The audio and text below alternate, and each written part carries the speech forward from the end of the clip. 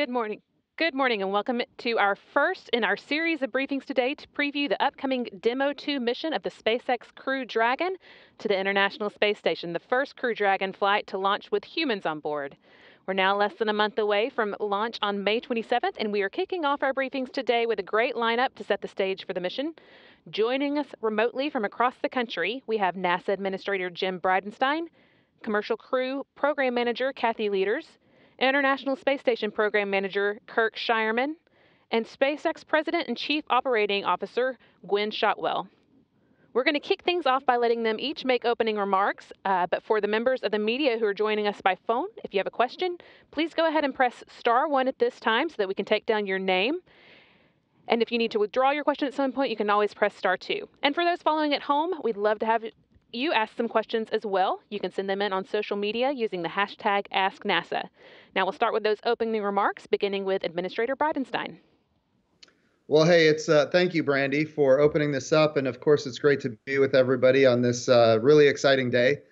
Uh, as a matter of fact, just yesterday we announced that we have a new human landing system that's going to take us all the way to the moon, and of course, uh, in in the midst of more development than we've ever had before in NASA's history, uh, we are going to launch American astronauts on American rockets from American soil. Um, we're going to do it um, here in the midst of the coronavirus pandemic. And I'm going to tell you that this is a high priority mission for the United States of America. Um, we as a nation have not had our own access to the International Space Station for nine years. At the same time, we've had American astronauts on the International Space Station for 20 years in a row. And they've been doing this absolutely um, stunning, these stunning experiments and discoveries and advancing the human condition um, from the microgravity of space. Um, and these are capabilities that we, we cannot replicate here on Earth, uh, but they have been tremendously valuable to all of humanity now for, for 20 years as we've had this space station crewed. We need to make sure that we keep it crewed and not just crewed, but we need to make sure that it has its maximum complement of crew so we can get the highest return on investment from this $100 billion investment provided by the American taxpayer. And that's what Commercial Crew is all about. This is a new generation, a new era in human spaceflight. And, and when I say it's new, what I mean is NASA has long um, had this idea that we need to purchase, own, and operate hardware to get to space. And in the past, that has been true. Uh, but now in this new era, NASA, especially in low Earth orbit, NASA has an ability to be a customer one customer of many customers in a very robust commercial marketplace in low Earth orbit. But we also want to have numerous providers that are competing against each other on cost and innovation.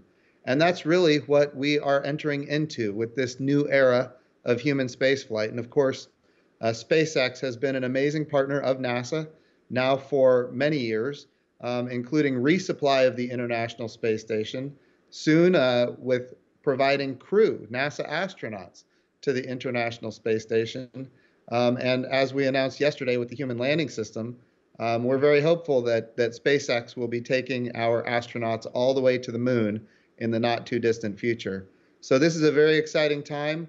The International Space Station is a critical capability for the United States of America. Having access to it is also critical, and we are moving forward very rapidly with this program um, that is so important uh, to our nation and, in fact, to the entire world. So, with that, Kathy, I will um, I'll give it to you to say a few remarks there from Cape Canaveral. I should say the Kennedy Space Center. Yeah, thank you, thank you, Jim. Hey, I can't tell you how an exciting day this is for us too. Um, Gwynne and I have been waiting for this for a while, and uh, I can't think of a better person to be sharing this phone call with right now. Um, but I want to make it clear that this is one of many exciting and hard days that we have in front of us. And Gwynne's team and my team are diligently working on getting the vehicles ready, making sure that all the I's are dotted and T's are crossed in our analysis, test data, assessments, going through all our reviews, and making sure that we are ready for this important mission to safely fly Bob and Doug up to the International Space Station, serve as a lifeboat, and return them to their families. This is a humbling job. I think we're up to it, and I look forward to showing you our progress. Uh, Kirk? To be here today. As we sit here and speak um, today, orbiting over our head is the International Space Station with three humans on board. Um, it's the largest vehicle that's ever orbited the Earth. And uh, this year we're celebrating 20 years of continuous human presence on board the International Space Station. Uh, our crews have conducted over 4,000 different investigations uh, together with partners in 108 different countries around the globe, truly an international endeavor. But today here we're to talk about the mission, the SpaceX mission, the Demo 2 mission, which is propelling the ISS to our future and uh, really looking forward to that. Today, as Jim mentioned, uh, commercialization is a big uh, effort on board uh, the International Space Station. We're working with uh, commercial partners developing facilities, um, testing modules, testing, uh, today we already transport cargo commercially, and very soon, of course, we're looking forward to transporting our crews commercially. This really is the next major step uh, in commercializing low Earth orbit and, and having a really vital low Earth orbit economy in which NASA is one of many customers. So we're looking forward to that. Um, this launch will allow researchers around the globe to work with astronauts under this, on board the space station to undertake many different, different scientific investigations. Um, today, the SpaceX crew uh, with Chris Cassidy already on board the International Space Station. We'll be doing experiments on uh, physiology, cardiovascular experiments, physical life science, physical and life sciences, um, testing out life support systems for our future explorations, and uh, together with uh, testing out habitation uh, experiments for our future human space exploration. A little over a week ago, we had our stage operational readiness review for the HTV, the JAXA cargo uh, vehicle. That vehicle will launch from Tanegashima Space Center in southern Japan on May 20th and will arrive at the International Space Station on the 25th of May, just a few days before uh, uh, SpaceX Demo 2 will launch. Just yesterday, we had an all-day meeting uh, doing our stage operational readiness uh, review for the SpaceX Demo 2 launch. And I'm very pleased to announce that we, uh, we passed that review successfully and moving on to our uh, subsequent milestones, culminating in a flight readiness review and launch readiness reviews in the very near future. This launch is our next step towards increasing American and really human presence on board the laboratory, the International Space Station. It really is, it really is critical um, we're very much in, interested in significantly increasing the amount of crew time and the amount of throughput that we can do, this valuable research that we can do on board the International Space Station, things that can't be done anywhere else, certainly on the planet. Um, uh, so we look forward to having this flight and then repeatable, uh, very sus repeatable, sustainable low Earth orbit uh, commercial crew transportation flights that allow us to, to test uh, durations of flight of varying durations. So historically, we've had six-month durations uh, here over the last few years, and uh, when, earlier in the shuttle program, we had two or three-month uh, durations, and even two-week durations. But uh, there's lots of other durations we need to explore to understand how the human body adapts to uh, to zero G. So we're looking forward to exploring those many different types of durations as we go forward. We, we can accomplish all this with Launch America on commercial vehicles and shape the future of space exploration and space economy on the International Space Station. The, words, the world's platform for global exploration, global partnership. Thank you very much. And now I'd like to introduce uh, Gwynne Shotwell, President of SpaceX, and uh, over to you, Gwynne. Good morning, everybody. Uh, I want to take this opportunity uh, to thank NASA um, we've worked closely with NASA since 2006, and all that work is culminating uh, to this historic event that we have upcoming here in just a few weeks. Um, my heart is sitting right here, and I think it's going to stay there uh, until we get Bob and Doug safely back from the International Space Station. But between now and then, there's still work to do. Um, I've got thousands of SpaceX employees who are focused on this mission. I think we have pounded the issues associated with Falcon and Dragon more than any other mission we've had uh, in our in our history leading to here. Uh, we have been to the International Space Station 21 times. Uh, we we hope that that experience ensures helps us to ensure that uh, this next flight to the International Space Station is uh, even more spectacular uh, and productive. Um, as I mentioned, there is still work to do. Uh, we have uh, a few weeks ahead of us. There's some uh, technical items to close. Uh, in fact, uh, a little bit later today should be our final parachute test, 27th parachute test of this new Mark III design. We're looking forward to finishing that test uh, and getting that item closed out. Um, we spent years working on this vehicle. Kathy and I have been working together for a decade and a half. And uh, I want to reiterate uh, it, I couldn't be working with someone better uh, on this historic uh, upcoming this mission. Um, I wanted to show uh, a video of one of the critical tests that we accomplished uh, just a few months ago in January. It was called the uh, in-flight abort test. This was a, a very large-scale system test to demonstrate uh, the launch escape system, which is one of the primary differences between this Dragon and the Cargo Dragon that we've taken many times to the International Space Station. So the video is rolling. Hope you enjoy it. It was quite a day.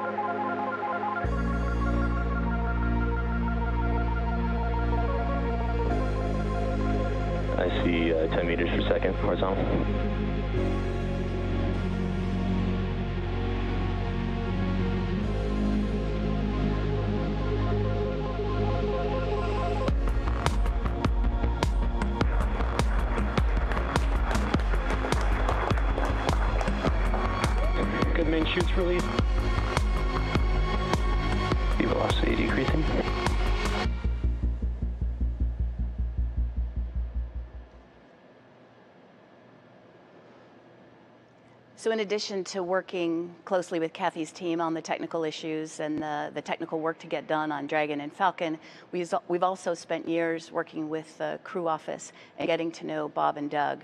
And I think that was a critical element of our view on the the important nature of this mission is I wanted to make sure everyone at SpaceX understood and knew Bob and Doug as astronauts, as test pilots, badass, but dads and husbands. Uh, I wanted to bring some humanity to this uh, very deeply technical effort as well. And uh, I'm really excited to, uh, to fly them here in a few weeks. So Demo 2 is, uh, as I mentioned, just a few weeks away. We are also working on the next vehicle to go to the International Space Station, and that will be the Crew 1 uh, mission. Um, I've got uh, just a couple of photos of uh, the crew training uh, in the Crew 1 Dragon, as well as the Crew 1 Dragon there in the final integration area. Uh, we should be shipping that vehicle in the next few months. Uh, and prepping for the first operational mission.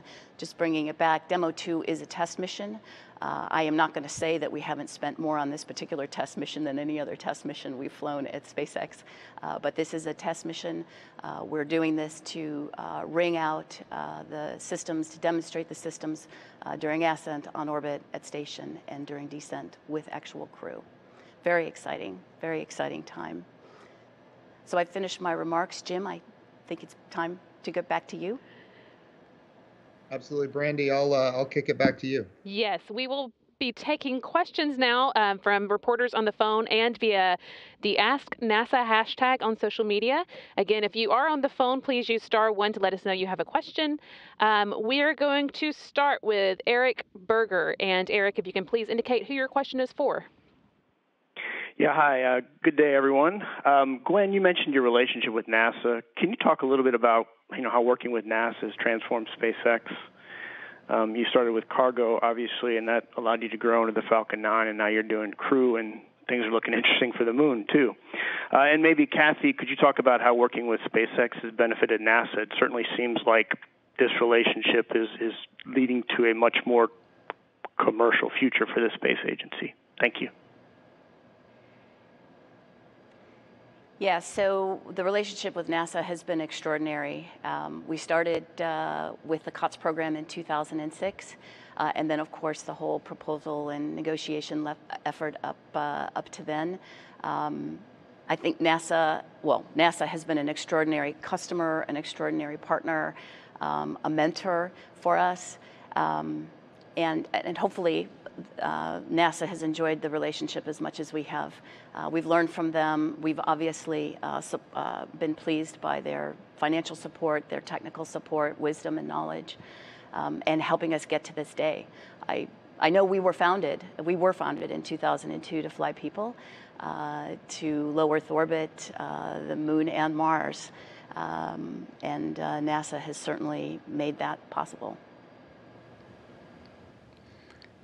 I think the uh, the thing that's been um, most rewarding for for me working over the last um, now, like Gwynne said, almost 13 years with SpaceX, is honestly seeing how our NASA teams have learned and how the SpaceX teams have learned and how we together have become stronger as engineering uh, technical support for this nation, really for this nation in the aerospace area, um, and expanding knowledge on on both fronts for us to provide solutions to future aerospace challenges that are out there.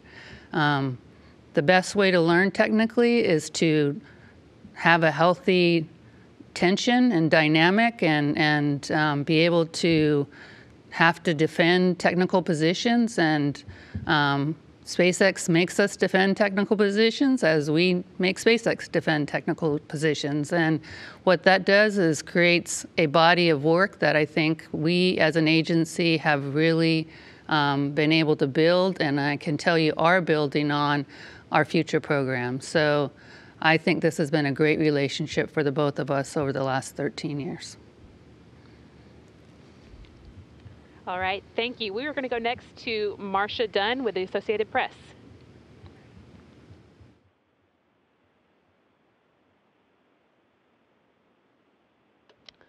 Uh, do we have Marcia online? Okay, let's try Dave Mosher with Business Insider.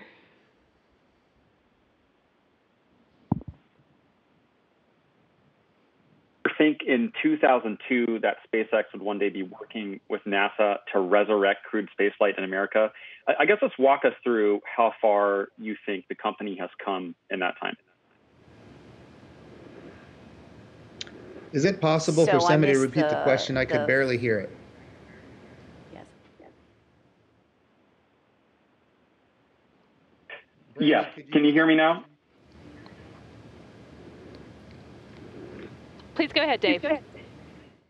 All right, thank you. Uh, this question is for Gwynne. I, I just want to one. I just want to ask you: uh, Did you ever think in 2002 that SpaceX would one day be working with NASA to resurrect uh, crewed spaceflight in America? And if you could just give us a sense of how far you personally think the, the company has come since that time. Well, uh, I certainly thought we would work with NASA. Uh, I was hired in 2002, uh, actually as the chief salesperson. so I certainly hoped that we would work with NASA. Uh, I knew when I when I joined the team that NASA wanted to uh, build a space transportation system that was reliable enough and low cost enough for people to be able to go to other planets. That sounded very kind of outer worldly to me at that time in 2002. Um, but I certainly understood that if we were to achieve that, we would certainly do that hand in hand with NASA. So I've seen this company grow from roughly 10 employees to um, th- the thousands that we have now. Um, we've grown up Uh, it was a little Wild West early on, um, but candidly, I think that um, those beginnings and those roots are critically important to our success even today when we're talking about flying people uh, and flying other precious cargo as well. You have to learn those hard lessons, and uh, I think sometimes the aerospace industry uh, shies away from failure in the development phase. Um, it, it, looks bad politically, it's tough, and, and the media certainly makes a lot out of, uh, failures. But candidly, that's the best way to, uh, to learn, is to push your systems to their limit, uh, which includes your people systems and your processes, uh, and learn where you're weak uh, and make things better. Thank you, Gwynne. Let's try Marcia Dunn from the Associated Press again. Yes, can you hear me now? We can. Oh, wonderful. Yes. Um, Ms. Shotwell, I have a question for you. Uh, flying astronauts is going to be taking SpaceX to a whole new level. And you sort of alluded this with your heart in your throat, but how much pressure are you feeling uh, having uh, astronauts' lives at stake as you get ready to launch?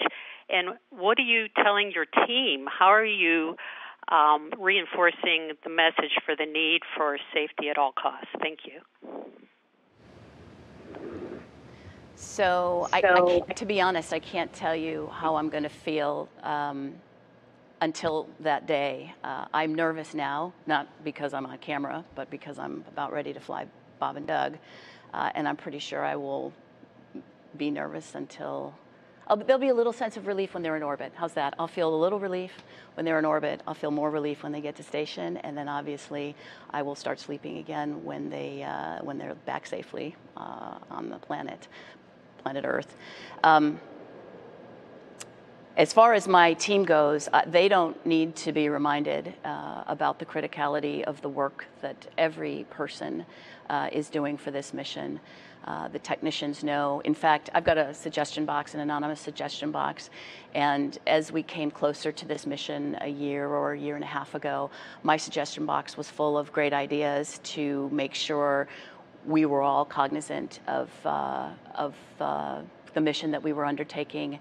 We have work orders. That's basically how we build these these vehicles and test these vehicles. Electronic work orders, and a bunch of the techs wanted to make sure that we had pictures of Bob and Doug uh, on the work orders, um, and there were lots of suggestions like that. So um, I don't think I need to remind my employees how important this is. Uh, they remind themselves, and uh, and they are helpful in reminding me. All right, thank you. Our next question will be from Michael Sheetz with CNBC. My question is uh, for Jim as well as a lot of the NASA folks that have seen this uh, program built out over the last decade or so. In terms of how much it's cost to get here today versus compared to a traditional like single source method of approaching contracting, does NASA view this in hindsight as an ultimate cost benefit uh, for the for the agency? And can you give me an example of a way or two in which maybe SpaceX now is helping NASA to uh, achieve and, and save taxpayers' dollars? Somebody's going to have to repeat the question because I, I can only catch a few words there. Michael, could you repeat that?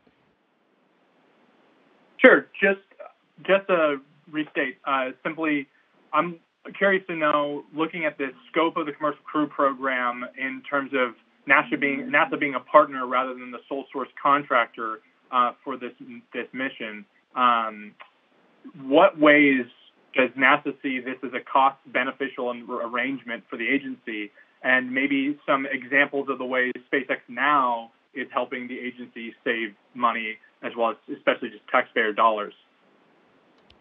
So how can this help us save money now and how can it help us in the future?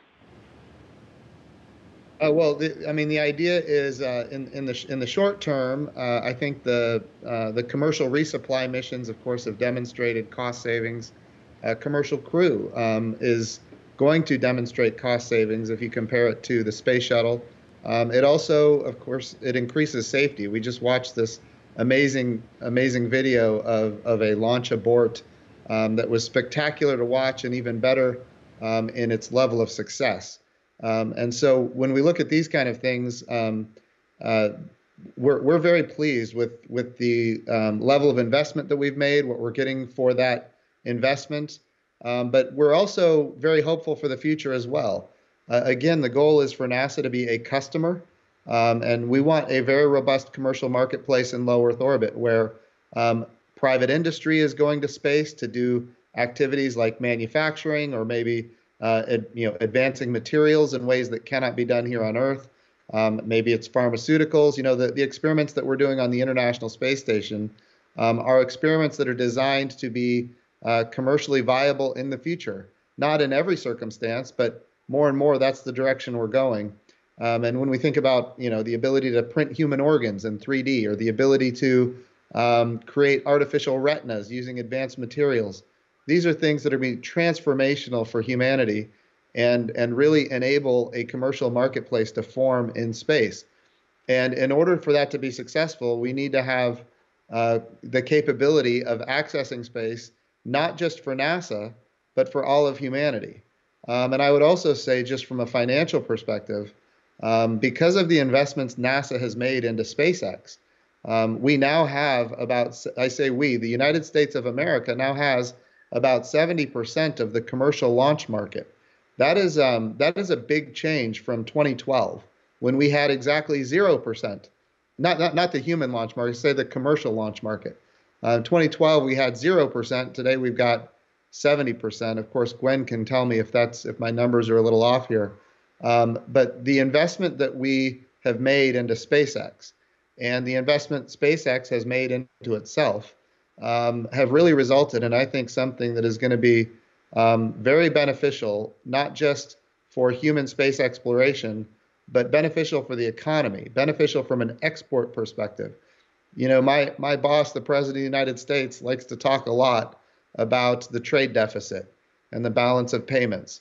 Well, when it comes to commercial launch now, uh, the United States of America um, is in the lead, um, and it's because of investments made by NASA, um, and we're very proud of that. So I think the long-term implications are going to be uh, very positive uh, from this from this effort. Okay. And a reminder that we are taking questions on, uh, space, on, on social media as well. You can use the hashtag AskNASA for that. Um, and we'll go to a few now, starting with um, Timothy from Twitter asking how American human spaceflight will be similar to and different from the space shuttle era. Uh, perhaps uh, Mr. Bridenstine could start us off on that, and we'll see if anybody else wants to jump in as well. Um, yeah, so uh, you know the future of human spaceflight is going to be very different than it is today. We think about what we're doing on the International Space Station to commercialize low Earth orbit. Um, we envision a day in the future where we have a dozen space stations in low Earth orbit, all operated by commercial industry for their own purposes, and that NASA could be a customer of those of those space stations. And of course, um, we envision a day when we're going to the moon. And we're not just going with government owned systems, but we're going as a customer. Um, and, and of course, yesterday we announced, announced the human landing system for that eventuality. And of course, we go to the moon for a purpose. We need to learn how to live and work on another world for long periods of time so we can get to Mars. Um, and of course, we that that that mission is very complicated uh, Earth and Mars are on the same side of the sun once every 26 months. Um, so the moon is the proving ground for the destination. And of course, the destination is Mars. Um, the future is bright. The NASA budget um, is as strong today as it's ever been in history um, from, from a nominal dollar perspective. Um, and of course, the, the budget request that we just submitted uh, takes NASA from 22 billion up above 25 billion. Um, and of course, a lot of that is focused on, on getting us back to the moon, uh, or I should say forward to the moon, because this time when we go, we're not coming home. We're going to stay. We're going forward to the moon. Um, and SpaceX um, has some really visionary um, capabilities that they're bringing to the table that NASA wants to uh, leverage and um, and benefit from. So uh, the future of, of space exploration is is very different than the past, and yet all of us are building on that legacy that is really amazing. So it's a it's a it's an amazing time to be at the helm of this little agency called NASA. Okay, and we have uh, one um, coming in from Kim on Facebook, specifically for Kathy. She says that she is a Girl Scout leader in Oklahoma, and some of her scouts are watching you right now. Could you please speak about um, how being a Girl Scout helped you prepare to lead a mission to space? Well, I was a Girl Scout really long time ago. I actually was a Girl Scout in Tokyo, Japan. I had gone to uh, elementary school and middle school, and so it shows how um, we had a local Girl Scout troop at the American school that I went to there. Um, and so what it does tell you, and, and you, you learn about how can you serve, and what we're finding today is moving through and, and getting ready to serve this nation by flying crew. It's another place where um, we're applying the lessons learned that you know you learn through the different organizations that you're part of as you're growing up, but then moving into serving this country. So I really um, appreciated uh, the groundwork that was laid there, and uh, I'm so happy that all the Girl Scouts. I'm hoping more Girl Scouts come out and watch us live as we're going to be flying our crewed missions to the International Space Station and hopefully we'll be seeing another Girl Scout fly one day. Absolutely. Going back now to the phone, we'll take a question next from Robert Pearlman with Collect Space. Thank you. Um, for Gwynne, uh, one of the things that have set apart American spaceflight from the very beginning is its working in the open. Can you confirm that SpaceX will be providing uninterrupted coverage of the um, air to ground, the space to ground conversations from launch through docking, and how you will share um, the activities aboard the spacecraft after launch and while it's in orbit until it reaches the space station? SpaceX has been a very transparent company from the beginning. Um, I'll never forget the first Falcon 1 flight. Uh, we had photos of, uh, of that vehicle lifting off and the back end was, uh, was on fire. Uh, and Elon said, post that photo. Uh, so we have uh, we try to be as transparent as we possibly can. There are um, State Department restrictions on the kinds of information that we can broadcast globally. Um, the, as far as the webcast goes, it's a joint webcast between NASA and SpaceX for this particular mission. So uh, there'll be joint decisions on, um, on how that gets executed and the information that gets flowed. Um, I can't imagine a scenario where uh, the public doesn't know what's going on uh, with this particular mission, whether it's in real time or whether it's uh, slightly time delayed or uh, whether the information comes out an hour or so later. Thank you. Next, we'll take a question from Bill Harwood.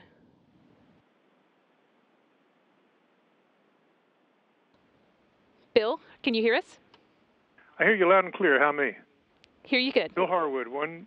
Have you got me? We do. Okay, thanks. For Jim, uh, speaking of the criticality of keeping the space station staffed, can you update us on where NASA stands with buying a seat on the October Soyuz? Is that a done deal yet? And is that the only seat you're planning to buy at this point, or are you still talking about the uh, the flight next April as well? Thanks. So I know our teams have been negotiating on the next Soyuz launch, which would be in October, um, and we're getting very close to finalizing that that deal. Um, and I think it's um, it's it's uh, within days of being signed, uh, and and of course that's uh, that's a positive thing. We we want the relationship um, in space exploration to remain strong. Uh, we see a day when um, Russian cosmonauts can launch on American rockets and American astronauts can launch on Russian rockets. Remember, um, half of the International Space Station is Russian. And if we're going to make sure that we have continual access to it and that they have continual access to it, um, then we're going to need to be willing to launch on each other's vehicles. Um, so we are negotiating right now for uh, a launch in October. We're very, very close.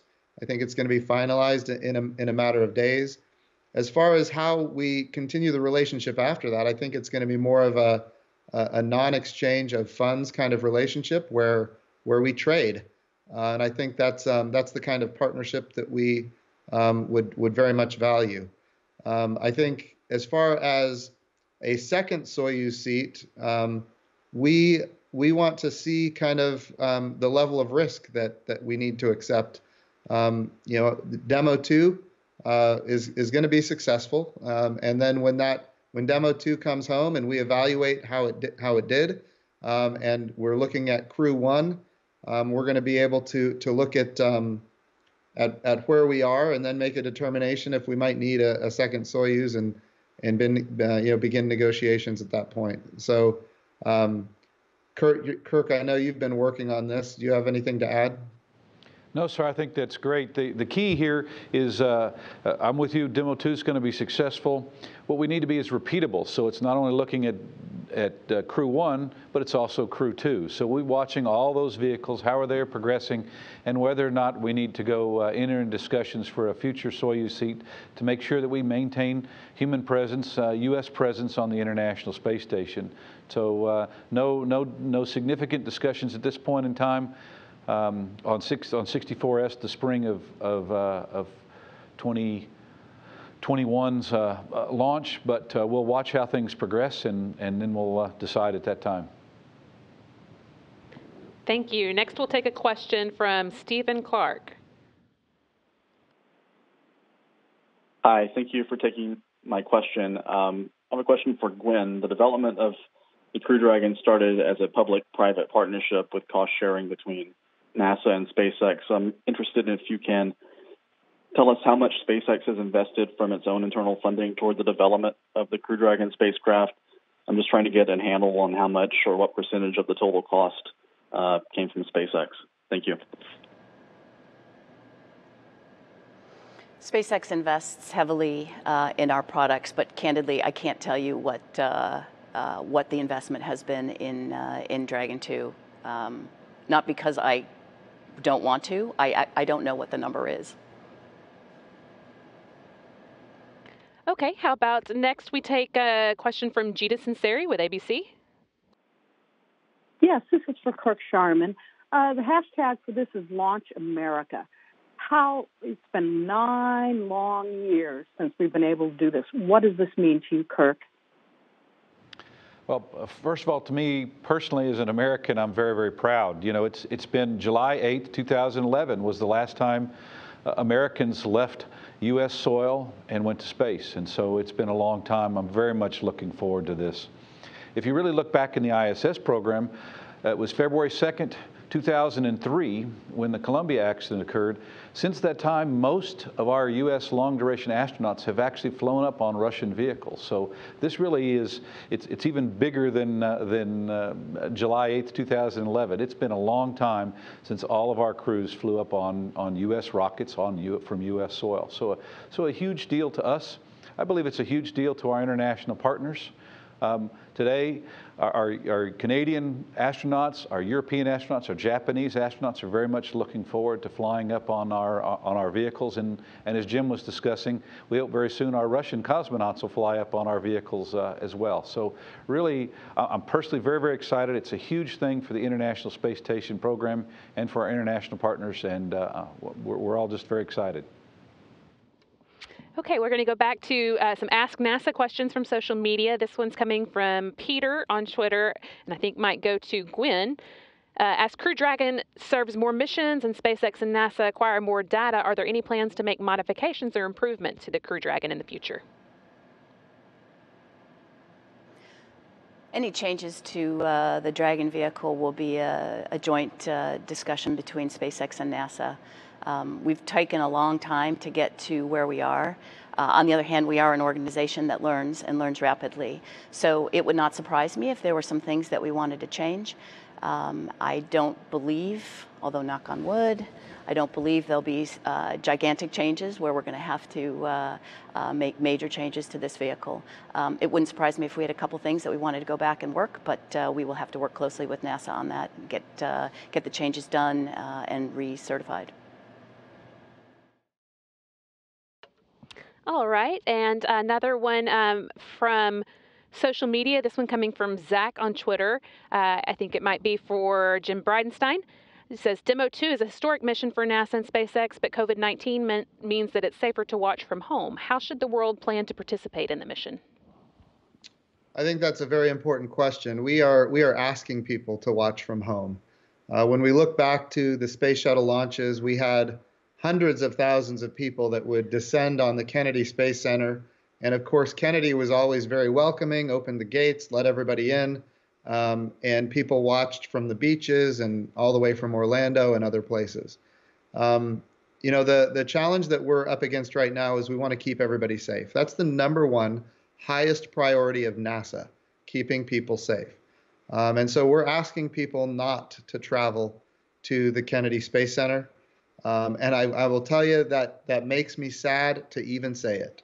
Um, boy, I wish we could make this into something really spectacular. Um, but where we are right now, we need to get commercial crew launched. We need Demo 2 to be successful.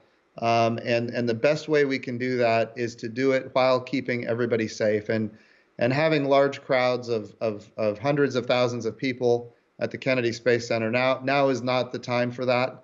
Um, it would be it would be damaging um, if we if we had some um, some setbacks. We don't want an outbreak.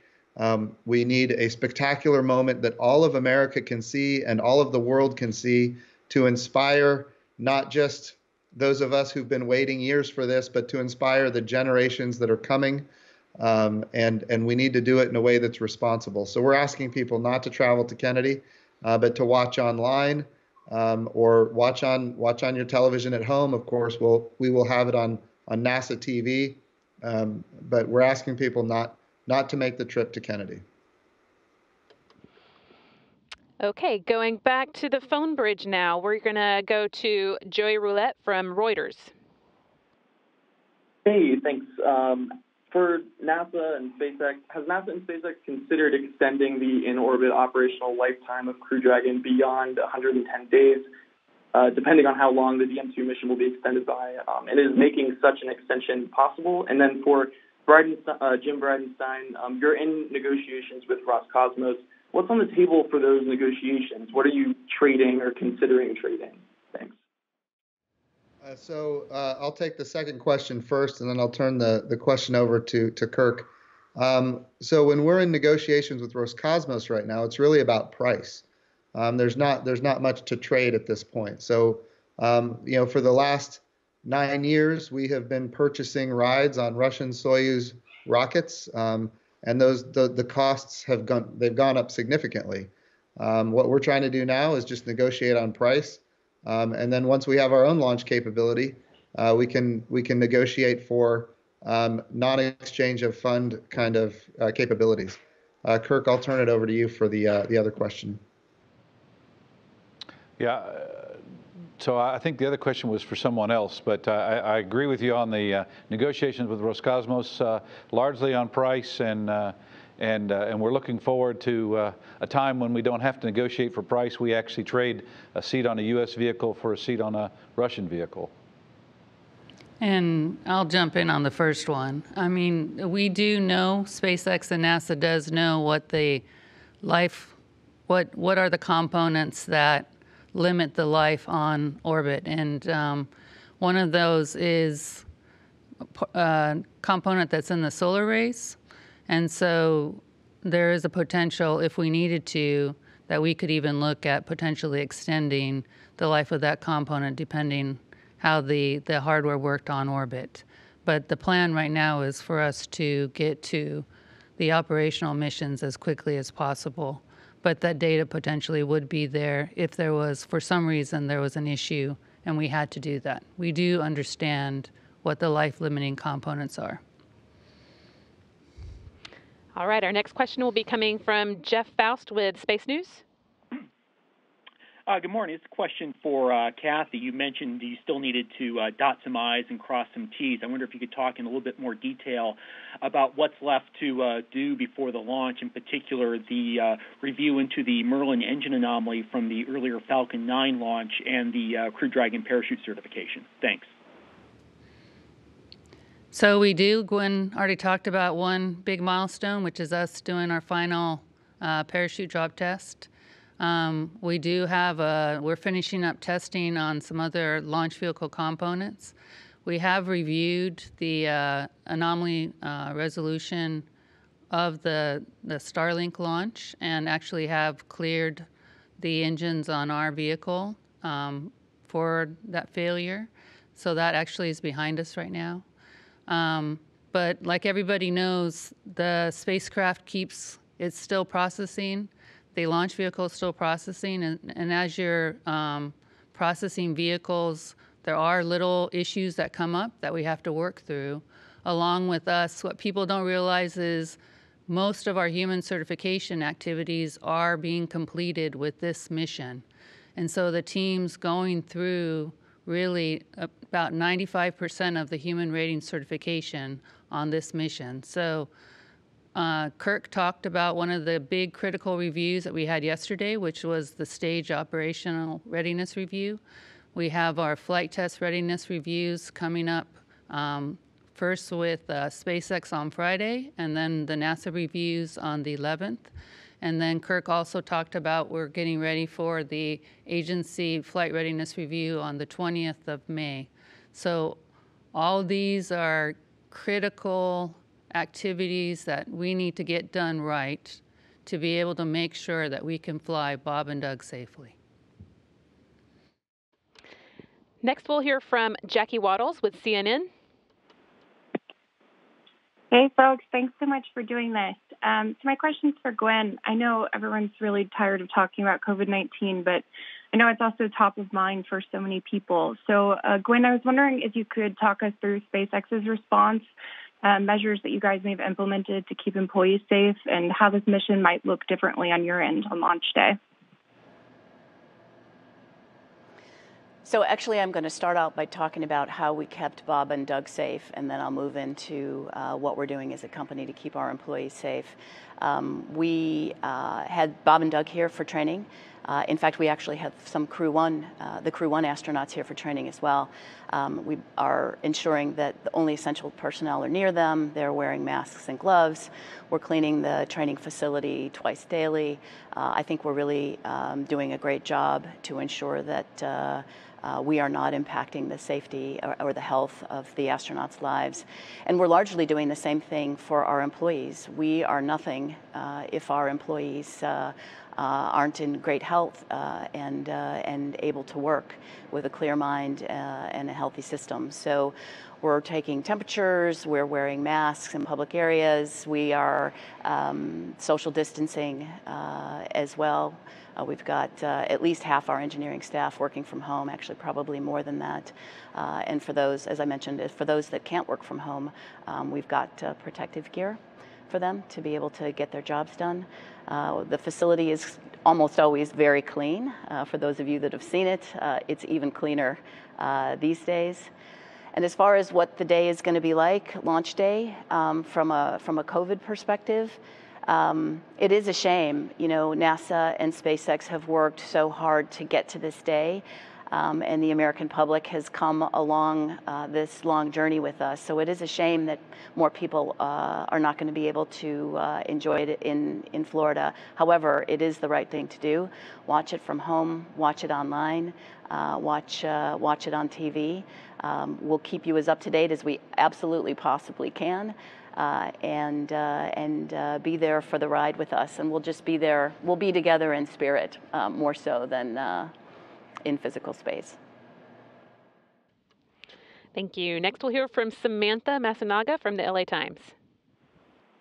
Hi, thanks for taking my question. Um, kind of similar to Jackie's. Um, this is for uh, Jim or Kathy. Um, can you talk a little more about some of the precautions against COVID 19 that you've put in place um, for Bob and Doug's uh, NASA specific training to keep them safe? Yeah, I'll let, Kathy, I'll let you talk to it. You've been working it. Yeah, I, I really appreciated what Gwynne was saying. You know, when this was an environment, we, we knew it was going to be tough getting ready for launch. Um, but then in this new environment, we had to take even more precautions. Um, because it's really about not only Bob and Doug's safety, but it's also about the safety of the crew on board the International Space Station.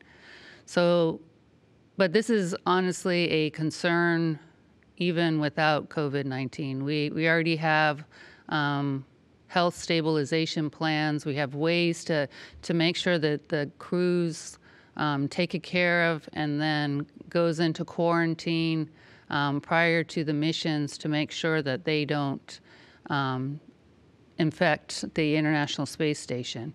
So this, so when we understood we were going to be working in this new environment, we and the SpaceX team worked on how we needed to amend how we were working with the different crews to make sure that the they were had all the safety and health precautions needed to make sure that they didn't get sick.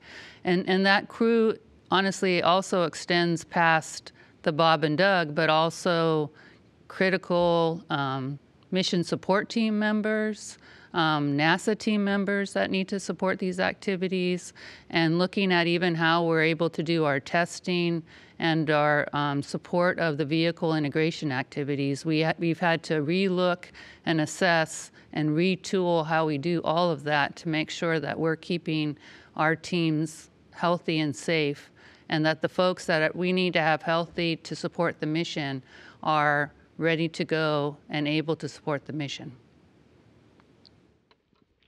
We're just about out of time, but we'll take one more question. Uh, let's go to Irene Klotz from Aviation Week. Thanks, Brandi. Uh, good morning. Uh, I have two questions, actually. The first one is for Gwynne. Uh, Jim mentioned in his opening remarks your win on the HLS. Congratulations. So I hope this isn't too off topic, but can you tell us how the infusion of 135 million is going to impact the timing and the development of Starship? Yeah, the, the, the work that we'll be doing with NASA uh, during this uh, early phase uh, is not going to impact, uh, at least from a timing perspective, the work that we're doing on Starship. Uh, in fact, we crafted our bid carefully to ensure that uh, we're working closely with NASA to understand what the ultimate requirements are for human spaceflight on a vehicle like Starship. and then we will work to, to roll those things in as, we, as we move forward with the vehicle.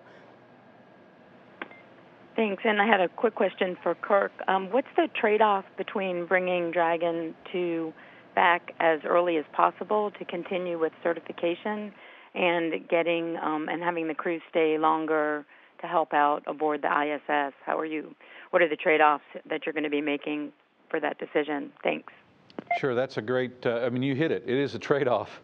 So on board the International Space Station, there's a tremendous amount of work. In fact, uh, Chris is an amazing astronaut. Uh, he's working very, very hard, uh, but there's more work than Chris can do. And in fact, in some cases, it has to be multiple people, not just one person. So it's getting and accomplishing the work, the important work that we have to do on board the International Space Station versus bringing that vehicle home so that we can complete the human certification of the, of the SpaceX Dragon uh, vehicle so that we can fly Crew 1. But it's a trade-off of those two things. What we would like to do from a station perspective is keep them on orbit as long as we can until that Crew 1 vehicle is just about ready to go, bring Dragon 2, bring uh, Demo 2 home, allow that certification work to complete and, and launch Crew 1. So we'll be watching the preparation of Crew 1 vehicle and when we're confident it's just about ready to go, that's when we'll, uh, we'd like to bring home Dragon 2, that, or, I'm sorry, Demo 2. That way we can keep, uh, we can keep the work going on board the International Space Station basically maximize the utility of the work on our board ISS and maximize the, uh, the uh, or minimize the amount of time that we're uh, in, at a crew of one on board the ISS while still maintaining the focus on this test flight and making sure that we accomplish all the certification requirements that we have. That is going to be all the time that we have for questions today. But before we wrap up, I believe Administrator Bridenstine had some closing remarks for us. Sure. Uh, I'd like to maybe just hit on a, a, few things that, that recently came up in, in the questions. Um, NASA has been working with SpaceX uh, on the Starship now for um, a, a, good while, ahead of the ahead of the contract, as a matter of fact, um, from a technical perspective, but uh, also uh, with a with a tipping point contract where um, we invested um, in SpaceX to help them um, figure out how do we do in-space transfers of, of fuel, Sp- uh, specifically, um, you know, liquid oxygen and, and liquid hydrogen and, and other capabilities.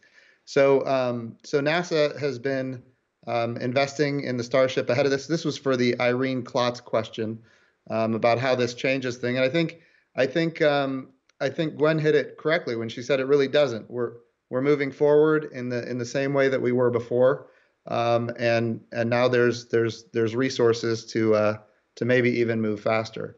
Um, so there's there's that, and then the other thing I wanted to reiterate was um, that NASA has been very satisfied with the level of safety um, from from from our perspective, our astronauts, our commercial crew, um, folks, um, both civil servants and contractors, um, and and they've been working side by side with the SpaceX team, and in fact traveling back and forth.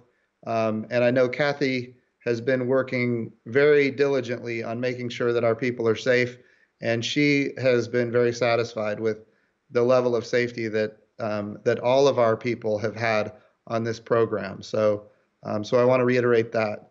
The other thing I think is important is just um, to understand the the historic nature of this flight. Um, we think about uh, Mercury, Gemini, Apollo, and then Space Shuttle. Um, those are really the you know the four times in history when we have put humans on brand new spacecraft, um, and now we're doing it for a fifth time, and if, and that's just the United States. If you look globally, this will be the ninth time in history um, when we put humans on a brand new spacecraft, and the last time the United States did it was on STS-1 when we launched the space shuttle for the first time back in 1981. So it's been a long time since we've put humans on a brand new spacecraft. Um, but that's what this is. And it is truly a test flight. To be very clear, um, yes, is, they're going to go to the International Space Station, and Bob and Doug are going to do amazing work while there. But this, we should not lose sight of the fact that this is a test flight. Um, we're we're doing this to learn things, and it's also true that um, that we're taking it very very seriously from a safety perspective. Um, so this is um, this is this is a big day for NASA. It's a big day for SpaceX. I like how Gwynne said that her heart her heart is is up in her neck right now. I think there's a lot of people that feel that way. Uh, but but um, but this is an important mission for the United States of America. We need to retain access to the International Space Station, and in fact, it's an important mission for the world. So um, we're very much looking forward to it. And uh, thank you all for attending this conference. Thank you, Administrator Bridenstine, and all of our briefers. We appreciate you being here with us today. On that note, we're going to say goodbye for now, but everybody following along can stay tuned. Our next briefing will begin at 11:30 Central, 12:30 Eastern here on NASA TV. We'll see you then.